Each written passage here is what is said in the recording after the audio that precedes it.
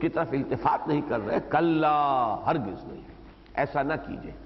अब यहाँ पे नोट कर लीजिए कि ये सारा मामला जो है, हुजूर सल्लल्लाहु अलैहि वसल्लम पर इस एतबार से कोई इल्ज़ाम नहीं आता कि फरायना कुरैश पर तवज्जो सर्फ करना और बल्कि दूसरों से उनको तरजीह देना, ये ऐन मंतिक के मुताबिक है, अक्ल के मुताबिक है और खुद नकल के मुताबिक है, कुरान की वही के मुताबिक है। इसलिए कि जब कुरान हज़रत मूसा सलाम को हुक्म देता है, अल्लाह ताला ने हुक्म दिया कि जाओ, इजहब इला फिरौन इन्नहु तवा। ये तो गोया कि सुन्नत रही है। ये तमाम अंबिया किराम के जिमन में अल्लाह ताला की सुन्नत रही है कि अल्लाह ताला पैदा ही उनको करता था किसी भी तहजीब, किसी इलाके, किसी के मरकजी शहर, जहाँ से गोया कि वो नर्व कंट्रोल, नर्व सेंटर हो जो उस तहजीब का, उस इलाके का और जो तबका आला तरीन होता है किसी माशरे के अंदर, वही अव्वलीन मुखातब होता है अंबिया, होता था अंबिया कराम का और अल्लाह के रसूलों का। हुक्म होता था कि सीधे जाकर उनसे बात करो। इसम इला फिराउन तगा। ये नहीं कहा गया कि जाओ पहले जरा बनी इसराइल के अंदर इसलाह की तहरीक शुरू करो। उनको जरा तजदीदी कोशिश हो ताकि उनके अंदर भी, उनके ईमान और अमल के अंदर बेहतरी की शक्ल पैदा हो जाए। फिर जरा कौम फिरौन के अंदर भी कुछ लोगों के अंदर तबलीग करो और उन्हें ईमान की दावत दो। फिर मरहला आ सकता था कि फिरौन तक भी बात जाती। लेकिन यह कि तरतीब यही मालूम होती है। जाओ फिरौन के पास। और इसी का एक बहुत बड़ा मसर है कि हुजूर सल्लल्लाहु अलैहि वसल्लम जब मक्के से मायूस हुए और आप ताइफ गए हैं तो आपने वहाँ स्ट्रीट प्रीचिंग नहीं की है। गलियों में जाकर तबलीग नहीं की गलियों में मक्के में तो की है। इसलिए कि मक्के में तो ज़ाहिर बात है कि आपने पहले तीन बरस जो है वो पर्सनल कॉन्टेक्ट के ज़रिए से जो आपसे करीब लोग थे, शनासा थे और ज़ाहिर बात है आप खुद बनु हाशिम में से थे, कुरैश के एक ऊँचे घराने से ताल्लुक रखने वाले। चाहे आपकी माली हैसियत जो है इतनी अच्छी ना रही हो इब्तदा में, लेकिन अब तो हज़रत खदिया से इन निकाह के बाद जो है आपका यानी ज़ाहरी एतबार से भी एक मुतमविल इंसान की हैसियत से ज़िंदगी गुजार रहे थे। यही वजह हज़रत अबू बकर सिद्दीक से आपकी दोस्ती जो है, वो चली आ रही है। वो भी एक ऊँचे घराने के फर्द है, चश्मो चिराग है। तो इब्तदा में आपकी दावत जो है असल में उसका हदफ वही रहे। अलबत्ता फिर एक मरहला आया है कि फिर आपने वहाँ पर गलियों में घूमकर और वहाँ पर आम लोगों के अंदर भी तबलीग की वहाँ तो यह कि यह फैसला करना मुश्किल है। आम हालात में एक आम कारी के लिए जब तक कि वो इस पूरी तरतीब को जेन में न रखे। लेकिन यह कि ताइफ का मामला तो हमारे सामने है। ताइफ में आपने जाकर गलियों में तबलीग नहीं की बल्कि जो सबसे ऊँचे लोग थे, वो तीन बड़े बड़े सरदार उनसे जाके मुलाकात की। बाद में शायद मुमकिन है कि आपने उनसे मायूस होकर और कहीं ताइफ की गलियों में भी तबलीग की हो, जबकि आप पर गलियों में पथराव हुआ है। लेकिन सराहत कहीं नहीं मिलती। सराहत इसी बात की मिलती है कि उन्हीं तीनों ने, वही जो फराए नए ताइफ थे, उन्होंने लोगों को जो है उसकार दिया कि अब जरा इनकी खबर भी लो और बच्चों ने और लड़कों ने और जो स्ट्रीट अर्चिन कहलाते हैं, उन्होंने वो पथराव करना शुरू कर दिया। तो ये मैं बात मैं साबित कर रहा हूँ कि किसी माशरे में जो लोग जितने मुसर हों जितनी उनकी हैसियत हो, जितना उनका दायरा असर और रसूख जो है वसी हो, उतनी ही अहमियत दी जानी चाहिए दावत तबलीग के जिमन में। यह माकूल बात भी है। अगर वो ईमान ले आए तो पूरा माशरा जो है उसको तबलीग को कबूल कर लेगा। शहनशाह कुस्तुनतीन उसने ईसाइत इख्तियार कर ली, पूरी रोमन एम्पायर ईसाई हो गई। इसलिए कि बहरहाल शहनशाह है, रोमन एम्पर है, उसने जब ईसाइत कबूल कर ली है तो पूरी सल्तनत में जितने लोग आबाद थे, वो ईसाई हो गए। यही हरकलियस जो है, जो हुजूर के जमाने में था, कैसर रूम, हिरकल जिसे हम कहते हैं, हरकलियस, वो भी यही चाहता था, पहचान चुका था हुजूर को सल्लल्लाहु अलैहि वसल्लम। उसकी ख्वाहिश ये थी कि मेरे दरबारी, मेरे ये सरदार, ये बीस हजारी, तीस हजारी, पचास हजारी मनसबदार, और ये बड़े बड़े जो ये हार आरकी है हमारी मजहबी, ये सब भी ईमान ले आए ताकि ये निज़ाम मेरा जो है बरकरार रहे। जैसे कुस्तुनतीन, वो ईमान ले, वो अगर ईसाई हो गया, पूरी ममलकत ईसाई हो गई तो उसकी शहनशाहियत पर कोई आँच नहीं आई। इसी तरीके से मैं भी अगर इस्लाम कबूल करूँ और ये भी मेरे साथ कर लें तो फिर यह है कि यह निज़ाम बरकरार रहेगा, मेरी बादशाही जो है, वो मुझे मेरे हाथ से नहीं जाएगी। तो ये चीज़ जो है जहन में रखिए, अकलन नकलन गलत काम नहीं था, सही काम था।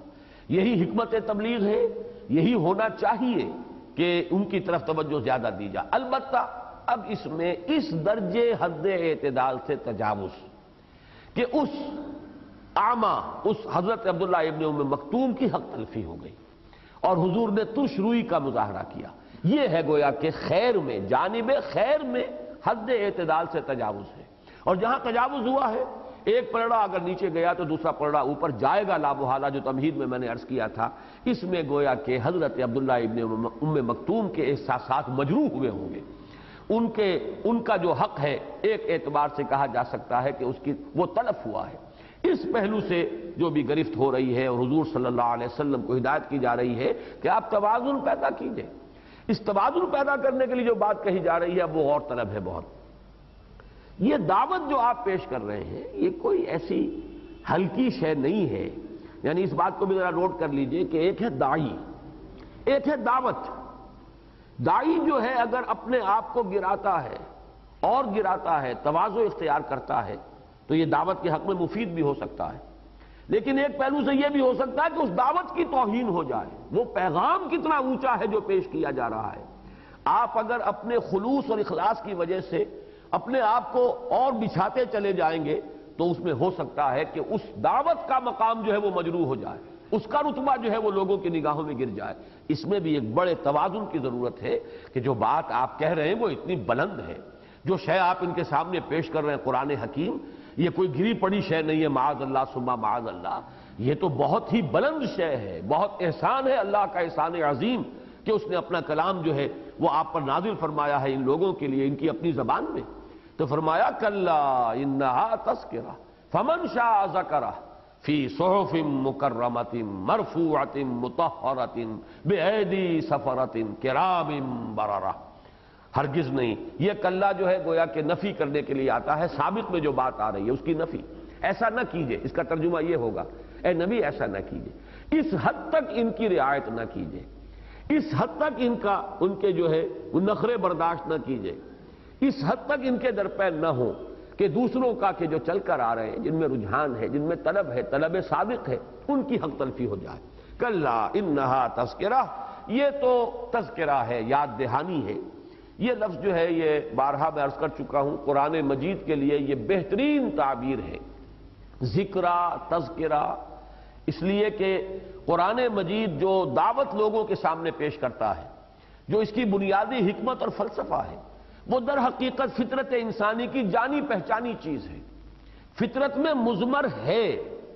दर हकीकत उस पर सिर्फ़ पर्दे पड़ गए हैं, जहूल है, माहौल के असरात हैं। गलत माहौल की वजह से वो चीज़ दब गई है। वरना फितरत किसको हम कहते हैं? वो रूह जो हमारे अंदर है। उस रूह का ताल्लुक अल्लाह ताला के साथ है। यह सलून अकानी रूह, कुल रूह में नमर रब्बी। इस रूह में मारफत रब्बी मौजूद है और मोहब्बत रब्बी मौजूद है। अपने मालिक और अपने रब की मारफत भी मौजूद है, इजमाली तौर पर। और इसके अंदर अल्लाह की मोहब्बत भी मौजूद है। लेकिन पर्दे पड़ गए हैं। आग बुझी हुई ना जान, आग दबी हुई समझ। ऊपर जो है राख आ गई है, अंगारा जो है, उसके ऊपर राख आ गई है। अब यह कि पर्दा हटाना है। तस्करा दर हकीकत किसे कहते हैं, याद करा देना।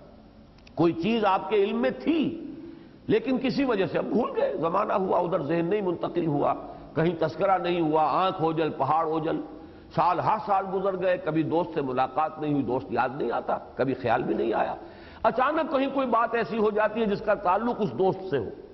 या जैसे कि मैंने बारह मिसाल दी है कि आपने ट्रंक खोला और उसमें से कोई रुमाल निकल आया जो कभी आपके दोस्त ने कभी आपको तोहफे के तौर पर दिया था। अचानक आपको अपना दोस्त याद आ जाएगा। इसमें आपकी किसी कॉन्शियस एफर्ट को कोई दखल नहीं। आप अपने दोस्त को याद करने के लिए नहीं बैठे थे कि मैं उसको, उसकी याद ताज़ा करूँ। बल्कि वो तो आज खुद सिर्फ़ यह कि आपके जहन से वो चीज़ आपकी याददाश्त में, उसके जखीरे में जरा नीचे उतर गई थी। उस उस शय ने जिसका के मेंटल एसोसिएशन जिसे आप कहते हैं, जिसके साथ के एक मेंटल एसोसिएशन थी अपने उस दोस्त की, वो शय सामने आई और खुद ब खुद जो है वो वो दोस्त याद आ गया। इस मानी में कुरान मजीद दर हकीकत, जो बुनियादी हकाइक हैं इस कायनात के, और उन्हीं का नाम ईमान है। वो ईमान फितरत इंसानी में है। कुरान इसको उभारता है, इसको ऊपर लाता है। जैसे कि कोई भूली बिसरी बात किसी को याद करा दी जाए। तो ये याद दहानी है, याद कराने के लिए आया है। कल्ला इन्हा तस्करा। कुछ नहीं, ऐसा न कीजिए, ये तो तस्करा है। इन्नहा में जमीर मुन्नस है, तस्करा की मुनासबत से, उसकी रियायत से।